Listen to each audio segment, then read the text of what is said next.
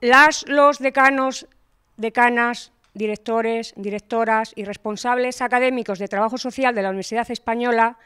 reunidos en la Facultad de Ciencias Sociales de la Universidad de Salamanca en el contexto de su octavo centenario, consideramos que los estudios de trabajo social que se imparten en las diferentes universidades de España han cumplido un papel muy relevante en el desarrollo del estado de bienestar y consolidación de derechos sociales y humanos y sigan prestando atención a las nuevas situaciones y retos que se derivan de los actuales cambios y transformaciones sociales. En este contexto se explica por la acción recíproca de tres grandes fuerzas, las tecnológicas y la economía global e informacional, que están modificando la estructura social contemporánea.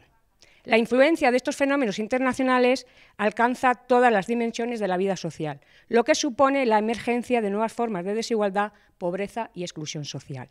Manifestamos que el trabajo social contribuye a conocer, analizar e interpretar los cambios sociales utilizando nuevas metodologías, habilidades y prácticas de intervención social para ofrecer respuestas eficaces y de calidad a la realidad social. Nos comprometemos a seguir innovando, mejorando y actualizando nuestras prácticas académicas, docentes, investigadoras y profesionales y a continuar colaborando con la sociedad para defender la justicia social, la equidad, la diversidad y los derechos humanos. Declaración de Salamanca, elaborada y aprobada en la ciudad de Salamanca a 9 de mayo de 2018.